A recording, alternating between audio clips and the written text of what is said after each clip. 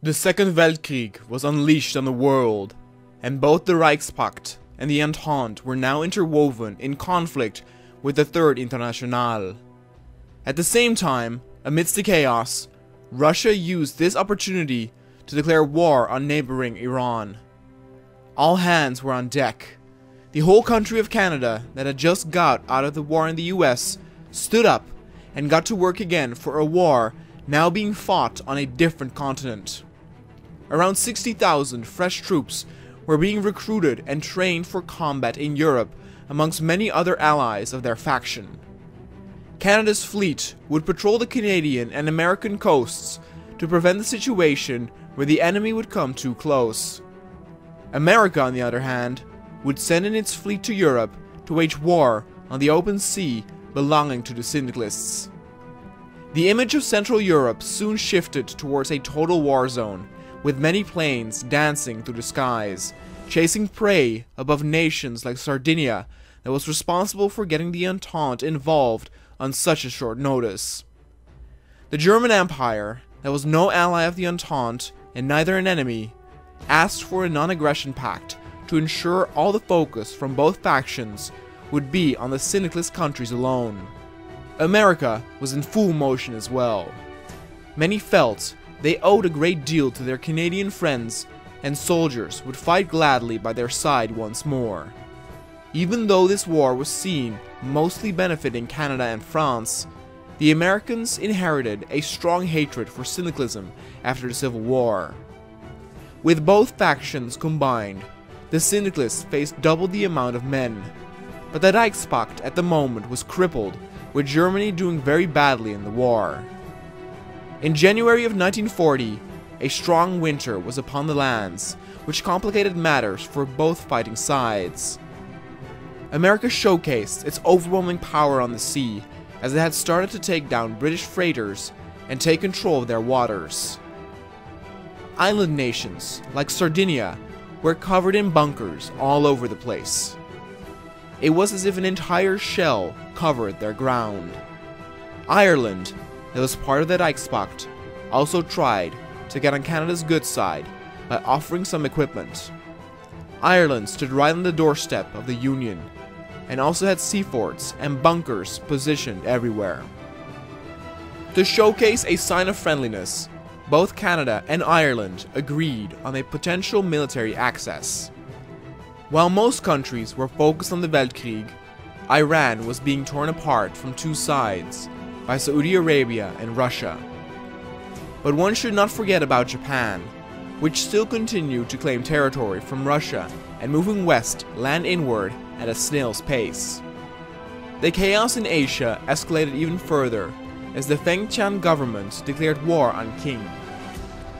In Quebec, about 15,000 Austrian troops had arrived to receive training from Canada's elite units. It further showcased a positive interaction between the enemies of syndicalism and the Entente. Ships from the West Indies and Portugal patrolled the British waters, acting as watchdogs for neighboring Ireland. It was Portugal that had bled the most in the short period of time the Entente got involved. Most victims were those aboard their ships being sunk by the British. It would still take many weeks before Canadian and American units would set foot on European soil, and chances were likely that Germany would not hold out long enough to witness this.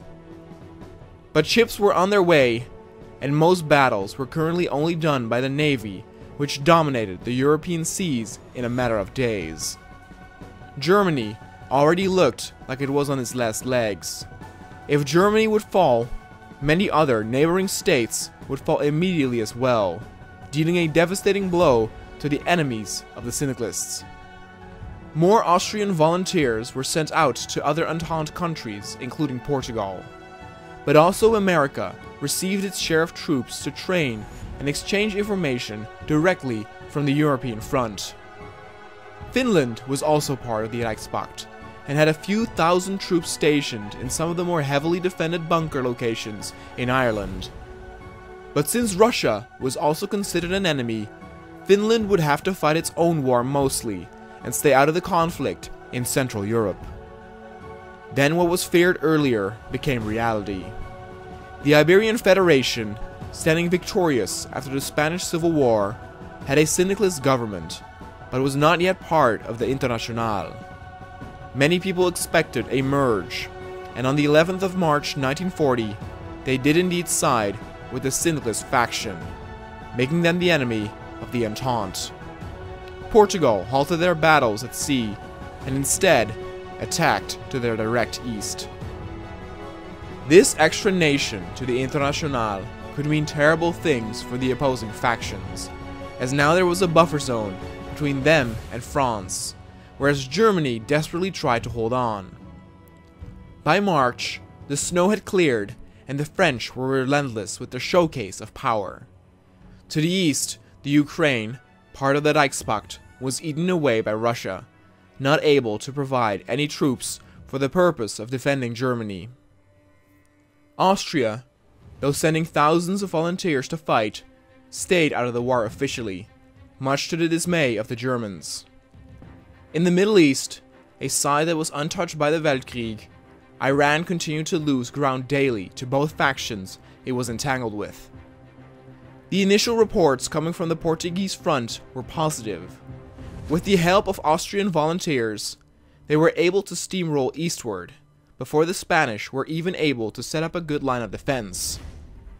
To divert some attention from the German onslaught, the West Indies assaulted multiple coastal areas, hoping to force France into sending more troops west.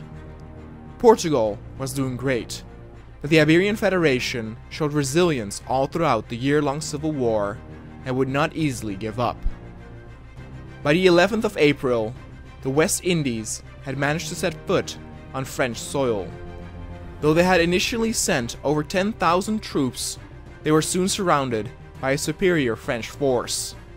But the Kingdom of France also successfully pulled off a naval invasion to the south, and for those few troops who witnessed this, it was glorious.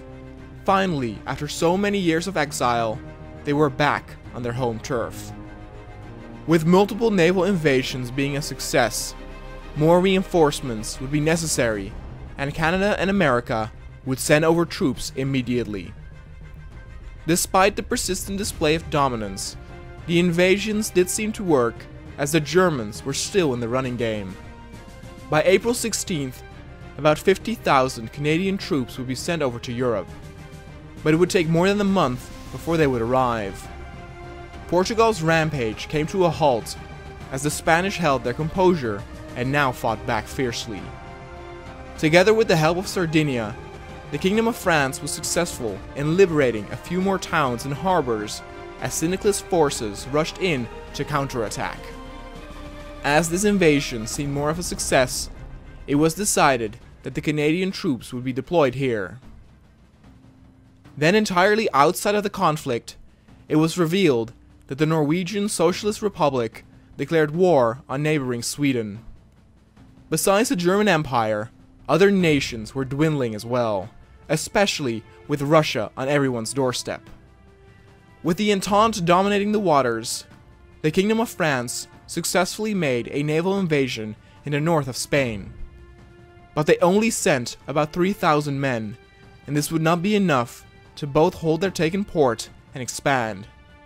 To the south, however, things were going better, though they had run into a blockade as syndicalist France pulled in a lot of men from the east. As a result, it had the desired effect of relieving some of the German troops who were able to push back. Yet in the east, in countries like Finland, Russia showed no holding back as it devastated several Reichspakt countries at the same time. Governments, like those of the United Baltic Duchy and Lithuania, stood no chance to the mighty Russian Republic.